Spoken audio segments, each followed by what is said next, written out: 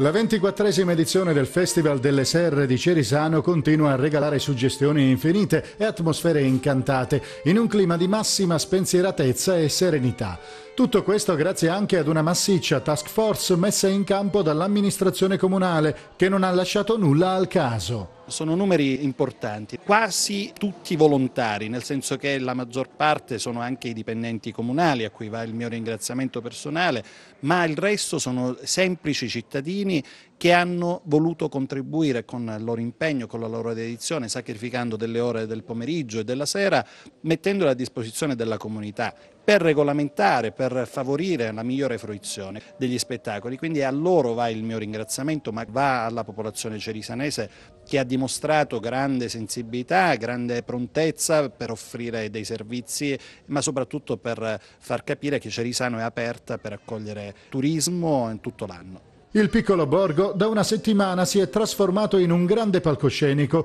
con diverse location disseminate negli angoli più belli e accattivanti del paese che fanno da cornice a spettacoli di altissimo livello, tutti volti a richiamare e celebrare l'estro e la cultura partenopea. Un filone che è stato perfettamente interpretato dal concerto jazz Tony Esposito Experience, che ha catapultato il numerosissimo pubblico nel sound metropolitano e in tutte le espressioni musicali della vivacità napoletana, con percussioni, ritmi frenetici, giochi elettronici e le note struggenti del sax di un incredibile Marco Zurzolo.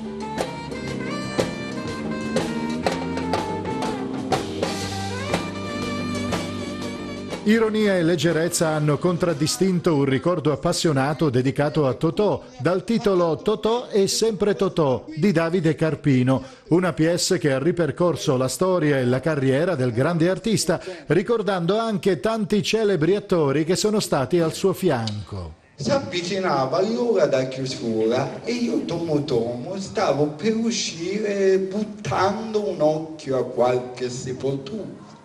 Spettacoli bellissimi che non sono stati fermati neanche da una serata di pioggia. Infatti l'amministrazione comunale ha trasferito per una sera tutte le attività a Palazzo Sezzale e i tanti visitatori che, nonostante le avverse condizioni atmosferiche, erano arrivati a Cerisano, sono stati accolti dal concerto lirico dei vincitori della masterclass.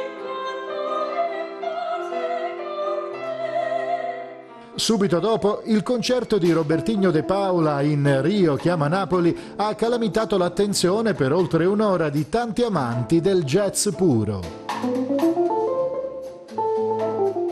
Stasera gran finale con il concerto Le romanze della tradizione napoletana con Katia Ricciarelli e Francesco Zingariello e per gli appassionati di teatro la simpatia e il brio di Marisa Laurito in Voilà Marisa.